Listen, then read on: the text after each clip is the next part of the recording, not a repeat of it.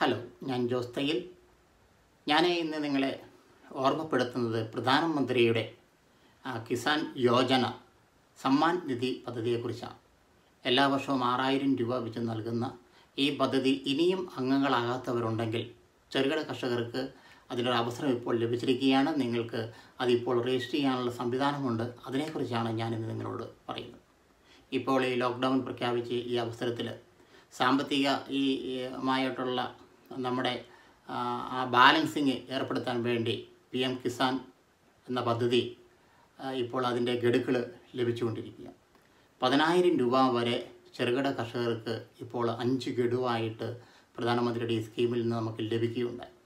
ഇന്ത്യയിലെ ഒന്നേ പോയിന്റ് മൂന്ന് ബില്യൺ ജനസംഖ്യയ്ക്ക് ഭക്ഷണം നൽകുന്ന എട്ട് പോയിന്റ് ആറ് ഒമ്പത് കോടി കർഷകർക്ക് ഈ ധനസഹായം ഗുണം ചെയ്യുമെന്നാണ് നമ്മുടെ സീതാരാമൻ ബജറ്റ് പ്രസംഗത്തിൽ പറയുകയുണ്ടായത് പി എം കിസാൻ പദ്ധതി പ്രകാരം ഈ കഴിഞ്ഞ പത്തൊമ്പത് ഇരുപത് വർഷത്തിൽ കേന്ദ്ര സർക്കാർ കർഷകർക്ക് നൽകിയ ആകെ തുക എന്ന് പറയുന്നത് അമ്പത്തിനാലായിരം കോടി രൂപയാണ്.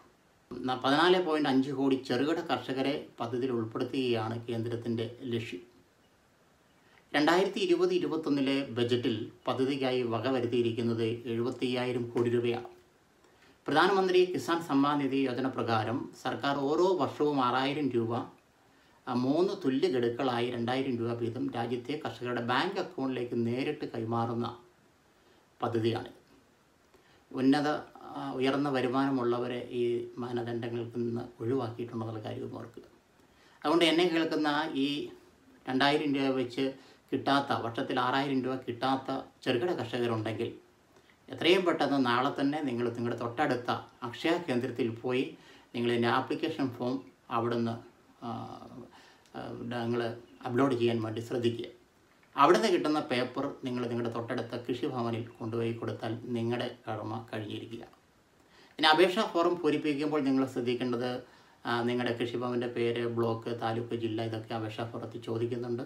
നിങ്ങളുടെ പൂർണമായ പേര് നിങ്ങളുടെ അച്ഛന്റെ അല്ലെങ്കിൽ അമ്മയുടെ അല്ലെങ്കിൽ ഭർത്താവിന്റെ പേര് മേൽവിലാസം പോസ്റ്റ് ഓഫീസ് പിൻകോഡ് അതെല്ലാം നിങ്ങൾക്ക് അറിയാവുന്നത് കാണാതെ അറിയാവുന്നതാണ് മൊബൈൽ നമ്പർ സ്ത്രീയാണോ പുരുഷനാണോ എന്ന് കർഷകന്റെ വിഭാഗം പട്ടികജാതിയാണോ പട്ടികവർഗമാണോ C C C B C B C ആണോ ഇങ്ങനെയുള്ള ഓരോ വിവരങ്ങൾ നിങ്ങളോട് ചോദിക്കുന്നുണ്ട്. അതവിടെ പൂരിപ്പിക്കുക. അപ്പോൾ നിങ്ങൾ ഇതിനു വേണ്ടി പോകുമ്പോൾ ശ്രദ്ധിക്കേണ്ട അപേക്ഷകന്റെ ആധാർ നമ്പർ നിങ്ങളുടെ കയ്യിൽ വേണം. അത് നമ്പർ അവിടെ എൻറോൾ ചെയ്യണം. നിങ്ങളുടെ ജനന തീയതി അറിയത്തില്ലെങ്കിൽ അത് കുറിച്ചെടുത്തുകൊണ്ട് പോകണം റേഷൻ കാർഡ് നമ്പർ അറിയത്തില്ലെങ്കിൽ അതും കുറിച്ചെടുത്തുകൊണ്ട് പോകണം അപ്പോൾ ആധാർ നമ്പർ ജനന തീയതി റേഷൻ കാർഡ് നമ്പർ നിങ്ങളുടെ ബാങ്ക് ബുക്കിന്റെ പാസ്ബുക്കും കൂടെ നിങ്ങൾ കൊണ്ടുപോവുക. അക്കൗണ്ട് നമ്പറും ബാങ്കിന്റെ പേരും ബ്രാഞ്ചും അതിന്റെ ഐ എഫ് സി കോഡും ഒക്കെ എൻട്രി ചെയ്യേണ്ടതായിട്ടുണ്ട്. അതുകൊണ്ട് ഈ നാല് കാര്യങ്ങൾ ആധാർ കാർഡ് നിങ്ങളുടെ ബാങ്ക് ബുക്കിന്റെ പാസ്ബുക്ക് അതേപോലെ തന്നെ നിങ്ങളുടെ ജനന തീയതി എഴുതിയെടുത്തുകൊണ്ട് പോവുക റേഷൻ കാർഡ് നമ്പർ ഇത്രയും കാര്യങ്ങൾ നിങ്ങൾക്ക് ആപ്ലിക്കേഷൻ ഫോമിൽ പൂരിപ്പിക്കണം. പിന്നെ കുടുംബാംഗങ്ങൾ ഓരോരുത്തരുടെയും കൈവശമുള്ള ഭൂമിയുടെ നികുതി അടച്ച റെസീറ്റ് നിങ്ങൾ അതിനകത്ത് ഉള്ളടക്കം ചെയ്യണം. അപ്പോൾ കഴിഞ്ഞ വർഷം അടച്ച നികുതി റെസീറ്റും കൂടെ നിങ്ങൾ കൊണ്ടുപോകണം. അപ്പോൾ അതും പൂരിപ്പിച്ച് കൊടുത്താൽ നിങ്ങളുടെ ആപ്ലിക്കേഷനായി അപ്പോൾ അവിടെ അവിടുന്ന് നിങ്ങൾക്കൊരു പേപ്പർ കിട്ടും. സത്യവാങ്മൂലം നിങ്ങൾ അപേക്ഷ കൊടുക്കുകയാണ്. ഞാൻ ഈ മുകളിൽ പറഞ്ഞിരിക്കുന്ന കാര്യങ്ങളെല്ലാം തന്നെ സത്യസന്ധമാണെന്ന് രേഖപ്പെടുത്തിയ ഒരു വിവരമാണ് നിങ്ങൾ സത്യവാങ്മൂലം കൊടുക്കുക. അത് കൊടുത്തതിന് ശേഷം നിങ്ങൾ അവിടെ നിന്ന് ഒരു പേപ്പർ തരും. അത് നിങ്ങൾ കൃഷിഭവനിൽ കൊണ്ടുപോയി കൊടുക്കുക. അപ്പോൾ കൃഷി അസിസ്റ്റന്റ് റെക്കമെൻഡ് ചെയ്യും. അത് ഒന്നുകൂടെ പരിശോധിച്ച് കൃഷി ഓഫീസർ റെക്കമെൻഡ് ചെയ്ത് കഴിയുമ്പോഴാണ് നിങ്ങൾക്ക് ഇത് കിട്ടാനുള്ള യോഗ്യതയിലേക്ക് നിങ്ങൾ തിരഞ്ഞെടുക്കുക. അപേക്ഷകർ അറിഞ്ഞിരിക്കേണ്ട കാര്യങ്ങൾ എന്താണെന്ന് ചോദിച്ചാൽ ഇതിനകത്ത് കുടുംബമെന്ന് എന്നാൽ കർഷകൻ എന്നാണ് അദ്ദേഹത്തിന്റെ ഭാര്യ അവരുടെ പ്രായപൂർത്തിയാവാത്ത കുട്ടികൾ എന്നിവർ ഉൾപ്പെടുന്നതാണ്. അതാണ് കുടുംബത്തിന്റെ അപ്പോൾ അവരുടെ സ്ഥലമാണ് കണക്കാക്കപ്പെടുക.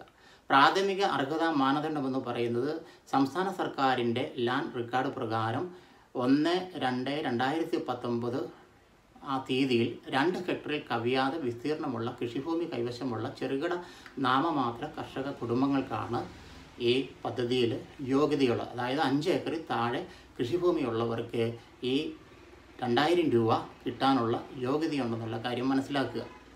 പദ്ധതിക്ക് ഉള്ള ആനുകൂല്യം എന്ന് പറയുന്നത് പദ്ധതി പ്രകാരം രാജ്യത്തൊട്ടാകെ അർഹതയുള്ള ചെറുകിട നാമമാത്ര കർഷകരുടെ കുടുംബങ്ങൾക്ക് സാമ്പത്തിക സഹായം നൽകുന്നതാണ്. ഒന്ന് രണ്ട് ഹെക്ടറിൽ കവിയാതെ കൃഷിഭൂമി കൈവശമുണ്ടാ ഉള്ള കർഷകർക്കാണ് ഒരു വർഷം ഒരു കുടുംബത്തിന് ആറായിരം രൂപ വീതം ആനുകൂല്യം. മൂന്ന് ഗഡുക്കളായി നാല് മാസത്തിലൊരിക്കൽ നിങ്ങൾക്ക് ലഭിക്കും. അതേപോലെ തന്നെ കഴിഞ്ഞ സാമ്പത്തിക വർഷത്തിൽ ആദ്യ ഗഡുവിന്റെ കാലാവധി നിങ്ങൾക്ക് എല്ലാം കൊടുത്തു കഴിഞ്ഞതാണ്. കിട്ടാത്തവർ ഇതുവരെ അപേക്ഷിച്ചിട്ട് കിട്ടാത്തവരുണ്ടെങ്കിൽ നിങ്ങൾ അതിന്റെ സ്റ്റാറ്റസ് എന്താണെന്ന് നോക്കി അക്ഷയ കേന്ദ്രത്തിൽ നോക്കാം. അല്ലെങ്കിൽ നിങ്ങൾക്ക് നിങ്ങളുടെ മൊബൈലിൽ നിന്ന് അത് ചെക്ക് ചെയ്യാം. അതിനുശേഷം നിങ്ങൾ കൃഷി ഓഫീസറുടെ അടുത്ത് വിവരം പറഞ്ഞ് ചിലപ്പോൾ ആധാർ ലിങ്ക് ആകാത്തതായിരിക്കാം. ചിലപ്പോൾ ബാങ്ക് പാസ്ബുക്ക് ലിങ്ക് ആകാത്തതായിരിക്കാം. അതെന്താണ് കുറവെന്ന് മനസ്സിലാക്കി അത് പൂരിപ്പിച്ച് കൊടുക്കുവാനും ശ്രദ്ധിക്കണമെന്ന് ഈ സമയത്ത് ഓർമ്മിപ്പിക്കുക. ഒഴിവാക്കപ്പെടുന്നവർ ആരൊക്കെയാണെന്ന് പറഞ്ഞു കഴിഞ്ഞാൽ സ്വന്തമായി സ്ഥാപനങ്ങളോടനുബന്ധിച്ച് വസ്തു ഉടമകളായിട്ടുള്ളവർക്ക് ഈ സ്കീമിൽ ചേരാൻ പറ്റുകയില്ല. മറ്റൊന്ന് കർഷക കുടുംബത്തിൽ ഒന്നോ അതിലധികമോ അംഗങ്ങൾ താഴെ പറയുന്ന വിഭാഗത്തിൽ ഉൾപ്പെട്ടിട്ടുണ്ടെങ്കിൽ ഇതിന് അർഹരല്ല. അതായത് ഒന്ന് ഭരണഘടനാ സ്ഥാപനങ്ങളിൽ നിലവിലുള്ളതും മുമ്പ് ഉള്ളതുമായിട്ടുള്ള ഉദ്യോഗസ്ഥരുണ്ടെങ്കിൽ അവർക്ക് ഇതിന് ഈ സ്കീമിലേക്ക് അപേക്ഷ കൊടുക്കാൻ പറ്റില്ല. നിലവിലുള്ളതും മുമ്പുള്ളതുമായ മന്ത്രിമാർ ലോകസഭാ അംഗങ്ങൾ രാജ്യസഭാ അംഗങ്ങൾ നിയമസഭാ അംഗങ്ങൾ സ്റ്റേറ്റ് ലെജിസ്ലേറ്റീവ് കൗൺസിൽ അംഗങ്ങൾ മേയർമാർ ജില്ലാ പഞ്ചായത്ത് അധ്യക്ഷന്മാരൊക്കെ ഉണ്ടെങ്കിൽ അവർക്കും ഈ സ്കീമിലേക്ക് അപേക്ഷ കൊടുക്കാൻ യോഗ്യതയില്ല എന്നുള്ള കാര്യം ഓർക്കുക കേന്ദ്ര സംസ്ഥാന സർക്കാർ ഓഫീസുകളിലും ഒട്ടോണ സ്ഥാപനങ്ങളിലും സർവീസ് ഉള്ളവരും വിരമിച്ചിട്ടുള്ളവരായ ഉദ്യോഗസ്ഥർ അതായത് ക്ലാസ് ഫോർ ഗ്രൂപ്പ് ഡി ഒഴികെയുള്ള ഉദ്യോഗസ്ഥർക്ക് ഇതിനകത്ത് യോഗ്യതയില്ല എന്നുള്ള കാര്യം ഓർക്കുക. കേന്ദ്ര സർക്കാർ ഓഫീസുകളും അതേപോലെ തന്നെ ഒട്ടോണമസ് സ്ഥാപനങ്ങളിൽ സർവീസിലുള്ളവരും വിരമിച്ചിട്ടുള്ളവരുമായ ഈ പറഞ്ഞ ക്ലാസ് ഫോർ ഗ്രൂപ്പ് ഡി ഒഴികെയുള്ളവർക്ക് ഇതിൽ അപേക്ഷ കൊടുക്കാൻ യോഗ്യതയില്ല. അതേപോലെ തന്നെ പതിനാ പ്രതിമാസം പതിനായിരം രൂപയോ അതിൽ കൂടുതലോ പെൻഷൻ ആനുകൂല്യം ലഭിക്കുന്നവരുണ്ടെങ്കിലും അവർക്കും ഇതിനകത്ത് അപേക്ഷ കൊടുക്കാനുള്ള യോഗ്യതയില്ല. അവസാന അസൈൻമെന്റ് വർഷം ഇൻകം ടാക്സിന്റെ അടച്ചിട്ടുണ്ടെങ്കിൽ ഇൻകം ടാക്സ് അടച്ചിട്ടുണ്ടെങ്കിൽ അവർക്കും ഈ ഇതിന് അപേക്ഷ കൊടുക്കാനുള്ള യോഗ്യതയില്ല എന്നുള്ള കാര്യം അറിയുക. മറ്റൊന്ന് പ്രൊഫഷണൽ ജോലിയിൽ ഏർപ്പെട്ടുള്ളവർ ഡോക്ടർ എഞ്ചിനീയർ വക്കീൽ ആർക്കിടെക്ട് ചാർട്ടേഡ് അക്കൗണ്ട് തുടങ്ങിയിട്ടുള്ള നിയമാനുസൃതമായി രജിസ്റ്റർ ചെയ്ത് പ്രാക്ടീസ് ചെയ്യുന്നവരുണ്ടെങ്കിൽ അവർക്കും ഇതിന് അപേക്ഷ കൊടുക്കാനുള്ള യോഗ്യത ഉണ്ടായിരിക്കുന്നതല്ല എന്നുള്ള കാര്യം അറിയും. നിർബന്ധമായും സമർപ്പിക്കേണ്ട രേഖകൾ എന്താണെന്ന് ചോദിച്ചാൽ ആനുകൂല്യത്തിനായി കർഷകർ ബാങ്ക് പാസ്ബുക്ക് അതിന്റെ പകർപ്പ് കൊടുക്കണം. കഴിഞ്ഞ വർഷം അടച്ച റിസീറ്റിന്റെ പതിനെട്ട് പത്തൊമ്പതിലെയും റിസീറ്റിന്റെ പകർപ്പ് റേഷൻ കാർഡിന്റെ പകർപ്പ് ആധാർ കാർഡിന്റെ പകർപ്പ് എൻറോൾമെന്റ് നമ്പർ ആധാർ കാർഡ് ഇല്ലാത്ത വർഷം ഡ്രൈവിംഗ് ലൈസൻസ് അല്ലെങ്കിൽ ഇലക്ഷൻ തിരിച്ചറിയൽ കാർഡ് ഇങ്ങനെയുള്ള എന്തെങ്കിലും ജോബ് കാർഡ് തുടങ്ങിയ കേന്ദ്ര സർക്കാരോ സംസ്ഥാന സർക്കാരോ അംഗീകരിച്ചിട്ടുള്ള തിരിച്ചറിയ രേഖകൾ ഇതിനോടൊപ്പം നിർബന്ധമായും സമർപ്പിക്കണം. ഈ പദ്ധതി പ്രകാരം കർഷകർക്കുള്ള ആലു- ആനുകൂല്യങ്ങൾ D B T direct benefit transfer മുഖേന കർഷകരുടെ അക്കൗണ്ടിലേക്ക് നേരിട്ട് തന്നെ വരുന്നതാണ്.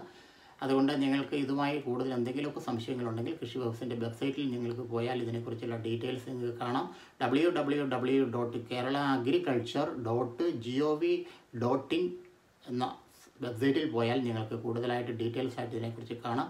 അല്ലെങ്കിൽ നിങ്ങൾക്ക് ഇതുമായിട്ട് സംശയങ്ങളുണ്ടെങ്കിൽ ടോൾ ഫ്രീ നമ്പർ ഉണ്ട് അതിലേക്ക് നിങ്ങൾക്ക് വിളിക്കാം. One eight double zero four two five one six six one എന്ന ടോൾ ഫ്രീ നമ്പറിലോ അല്ലെങ്കിൽ വാട്സപ്പിൽ നിങ്ങൾക്ക് മെസ്സേജ് അയക്കാം. Nine double four seven zero five one six six one എന്ന വാട്സപ്പ് നമ്പറിലോ നിങ്ങൾക്ക് മെസ്സേജ് അയച്ച് നിങ്ങൾക്ക് സംശയങ്ങൾ കറക്റ്റ് ചെയ്യാവുന്നതാണ്. പ്രിയപ്പെട്ട എന്നെ കേൾക്കുന്ന അഞ്ച് ഏക്കറിൽ താഴെയുള്ള കർഷകർ എല്ലാവരും പ്രധാനമന്ത്രി തരുന്ന കർഷകർക്ക് തരുന്ന ഈ ആനുകൂല്യം വാങ്ങിച്ചെടുക്കാൻ മടി കാണിക്കരുത്. ഇപ്പോൾ പതിനായിരം രൂപ ഇപ്പോൾ അഞ്ച് ഗഡുക്കളായി നമുക്ക് ലഭിച്ചു കഴിഞ്ഞു. അടുത്ത ഗഡു അടുത്ത ഏതാനും മാസങ്ങൾക്കുള്ളിൽ ലഭിക്കും. അതിനു മുമ്പായി ഇതുവരെ കിട്ടാത്തവരെല്ലാം ഈ സ്കീമിൽ ചേരാൻ വേണ്ടി താല്പര്യം കാണിക്കണം. പ്രധാനമന്ത്രി സമ്മാൻ നിധിയിൽ ജോയിൻ ചെയ്ത് അതിന്റെ ആനുകൂല്യങ്ങൾ വാങ്ങിച്ചെടുക്കാൻ കർഷകർക്ക് കഴിയുമാറാകട്ടെ എന്ന് ആശംസിച്ചുകൊണ്ട് നിർത്തുന്നു. നന്ദി. എന്റെ ചാനൽ ഇതുവരെയും സബ്സ്ക്രൈബ് ചെയ്യാത്തവർ തൊട്ടടുത്ത താഴെ താഴെ കാണുന്ന സബ്സ്ക്രൈബ് ബട്ടൺ പ്രസ് ചെയ്യുവാനും തൊട്ടടുത്ത് കാണുന്ന ബെൽ ഐക്കൺ ആക്റ്റീവ് ആക്കാനും മറന്നേക്കരുത്. ഇതുപോലുള്ള പുതിയ പുതിയ വീഡിയോകളുമായി നമുക്ക് ഇനിയും കാണാം താങ്ക്